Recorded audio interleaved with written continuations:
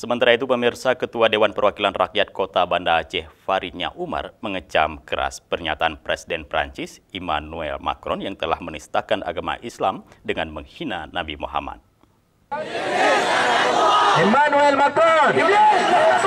Macron! Emmanuel Macron! Emmanuel Macron! Ketua DPR Kabana Aceh, Faridnya Umar, dalam orasinya mengungkapkan kemarahan atas pernyataan Presiden Prancis yang disebut dengan nama Macron Iblis Laknatullah. Selain mengutuk sikap Presiden Prancis yang dianggap telah menimbulkan konflik di dunia, Farid juga meminta pemerintah Kota Banda Aceh dan pemerintah Aceh meninjau ulang kerjasama dengan negara Perancis. Kami secara resmi tadi di DPR sudah menyatakan untuk tidak menggunakan dari hal yang kecil. Jadi yang sebelumnya kita pakai aqua itu sementara kita kita tinggalkan. Kenapa? Karena dia telah menghina Islam. Ya. Ya kenapa? Karena itu salah satu produk yang mengarah ke ke negeri Prancis.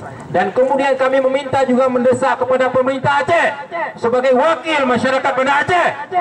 Saya berdiri di sini meminta agar meninjau kerjasama dengan pemerintah Prancis. Ya. Kita tidak ingin kemudian bisa Rasul kita dihina Kemudian justru kita kemudian menjalin kerjasama dengan Prancis yang notabene presidennya telah menghina Islam, telah menghina, merendahkan martabat Rasulullah SAW.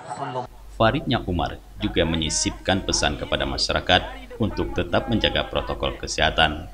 Aksi bela Rasulullah ini berlangsung tertib dengan kawalan personil kepolisian. Dari Banda Aceh, Tim Liputan Aceh TV melaporkan.